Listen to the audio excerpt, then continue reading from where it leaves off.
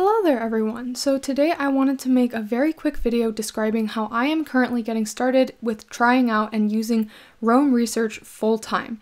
For anyone who's new, I'm Ren and I'm currently a full-time university student and productivity geek. If you've been following my channel, you'll know that I've become a huge fan of using RemNote, which has been working really well for me in terms of studying for coursework. If you go back even a little bit further, you'll find that I've actually been journaling with Obsidian for a while now. But the hashtag Roam Cult has really captured my attention recently, and for many reasons. I'll be showcasing some of those features as I find my way around Roam, and I welcome you to join me in exploring everything if you're getting started as well. As the bit of a nerd that I happen to be, I do a lot of supplementary research for my studies. Before looking into Roam, I never really wrote down any of my findings anywhere specifically, other than in huge outlines or essays that concluded some of my thoughts.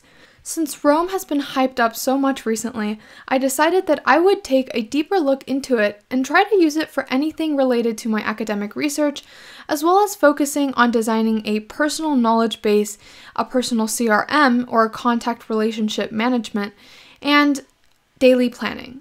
So the purpose of the next few videos in this series is to document my journey for anyone who is just also getting started with Roam, and for anyone interested in seeing what the true potential of Roam is. I would also love to get some input from expert Roam users who could possibly give me some advice along the way, or let me know how they've designed their own systems. So please leave me some comments below.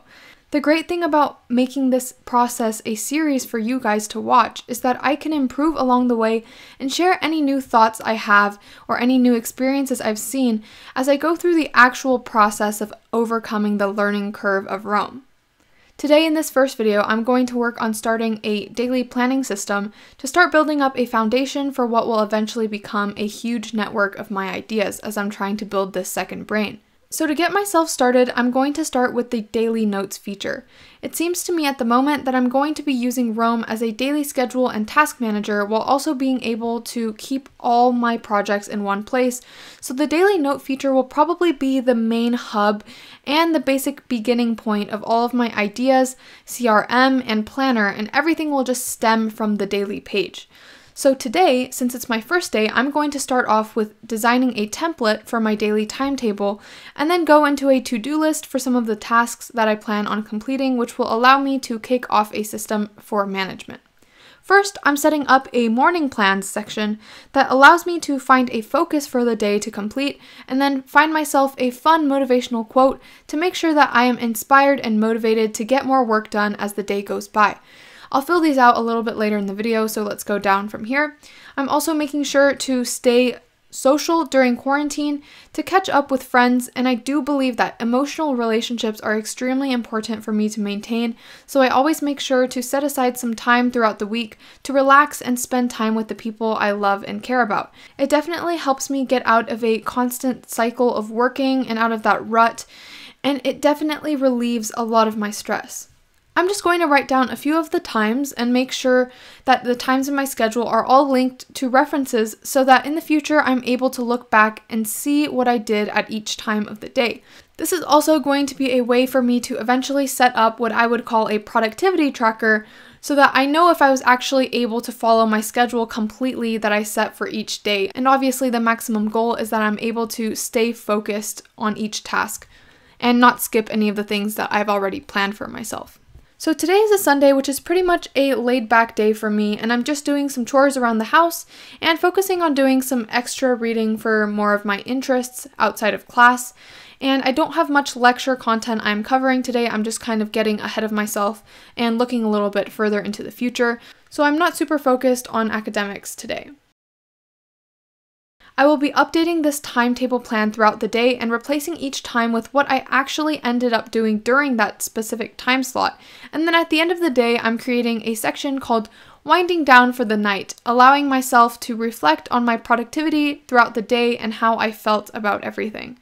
So, in that section, I'm going to add a highlight of the day, which is basically something that just really stood out to me throughout the day and something I want to remember and hold close to me or something that was surprising or important for me to note.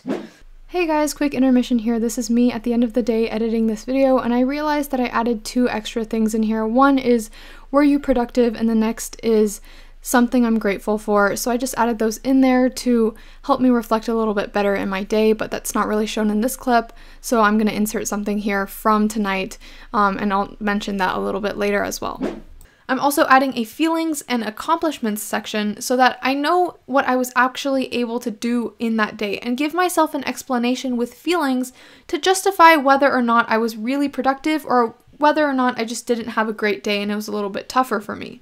I would also like to know if I have any leftover tasks that I need to complete tomorrow or a different day, and anything I might need to remember, like a fun memory or a reminder for something to do in the future, which I would add in as a link.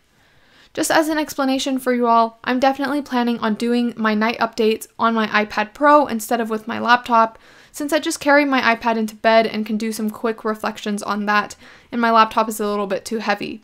I'm planning on making this a quick thing that just helps me get some thoughts down at night, which I hope is going to help with my sleep quality since the goal is that I won't be stressed after taking everything out of my mind and dumping it onto a separate database. So now I'm going back through and filling in my plans for the morning. The must do task of the day today is to film this YouTube video, which I'm doing right now, so it's great that I'm on schedule for the day.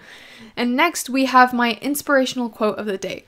Today I've picked Perfection is not attainable, but if we chase perfection, we can catch excellence. By Vince Lombardi, whom I've actually never heard of before. So I've created a link for him so that I can do some more research on him later and hopefully find some other really great quotes.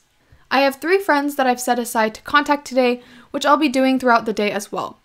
Okay, so now going through the actual day, I'm modifying some of my plans that could be moved around a bit. I'm also going through my checklist and ticking off all of the tasks that I've completed so that I will be able to reflect on my productivity at night. So, we've finally reached the end of the day for my night updates, and I'm just typing in some of my basic reflections and feelings from everything that I did today. I was thinking in this case that a day in the life with Roam research video would be really interesting for you all to watch. So let me know if you'd like to see me take you through a live version of a day in my life as a college student planning my life with Roam so that I can pick up a camera every time I decide to modify my Roam page and kind of take you through the whole process one by one. I'll end off this first video here today, and in the next video, you'll get a better idea of how I'm planning my supplemental thesis research notes. Again, I would really appreciate any feedback in the comments below, and please like and subscribe for more of my content.